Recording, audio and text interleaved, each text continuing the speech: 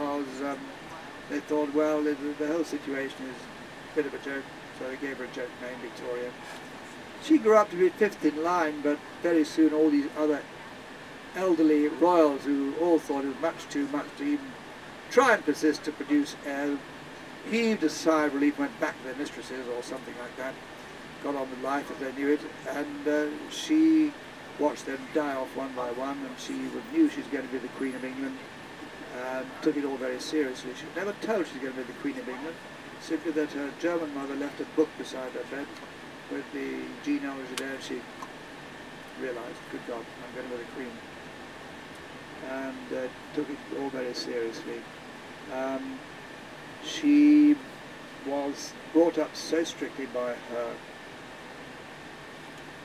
mother that she never slept outside her mother, mother's bedroom. Any time she ever descended stairs, she was descended to descend the stairs with uh, someone holding her hand. So she never fell downstairs or anything could go wrong. This is controlled beyond bearing to this unfortunate young girl who hardly ever able to play with anyone in case it was not good for her. So she had a lonely upbringing, but she's well educated. She became the queen, and the first thing she did, first morning she became was to order her own bedroom. So she could sleep in her own bedroom.